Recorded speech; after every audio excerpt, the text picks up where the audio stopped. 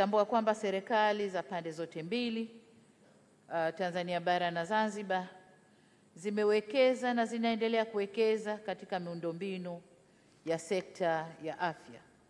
Hivyo hatuna budi kutilia mkazo kwa usawa ule ule kuwekeza katika rasilimali watu kwenye hospitali na vituo vya tiba vinavyojengwa na kukarabatiwa.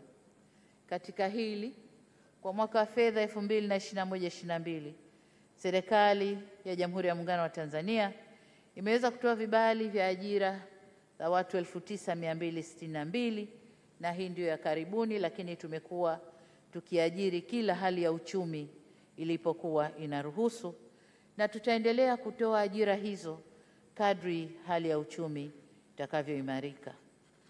Hali kadhalika, maeneo mengi duniani zikiwemo nchi za bara la Afrika zimewekeza pia katika mbinu zilizo nafuu za kutumia wahudumu wa afya ngazi ya jamii, community health workers, na wameweza kupata matokeo chanya kama tulivyoonyeshwa pia na taasisi hii ya Benjamin Mkapa.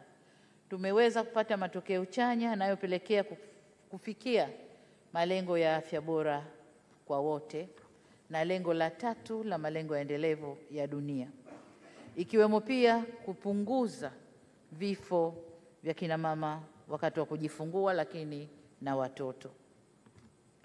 Nasi kupitia mikakati na miongozo ya kitaifa na kisekta tumekwisha bainisha umuhimu wa kuwekeza katika rasilimali watu wa sekta ya afya kwenye jamii na vituoni. Wito wangu ni kwa wanaosimamia masuala ya rasilimali watu katika sekta ya afya kutoa kipaumbele zaidi katika kuharakisha utekelezaji wa mikakati ambayo tayari imeshabainishwa kutatua changamoto hii ya watumishi. Aidha, ushirikiano wa serikali na asasi za kiraia zikiwemo taasisi za Benjamin Mkapa na sekta binafsi pamoja na wadau wa maendeleo uendelee kuimarishwa katika eneo hili la rasilimali watu kwa nia ya kuwe, kuweza kufikia malengo ya kitaifa na kimataifa ifikapo mwaka elfu mbili na thelathini. Nirudie kwamba taasisi ya Benjamin Mkapa imeendelea kuwa wabia wazuri wa serikali na mmetunga mkono siku zote.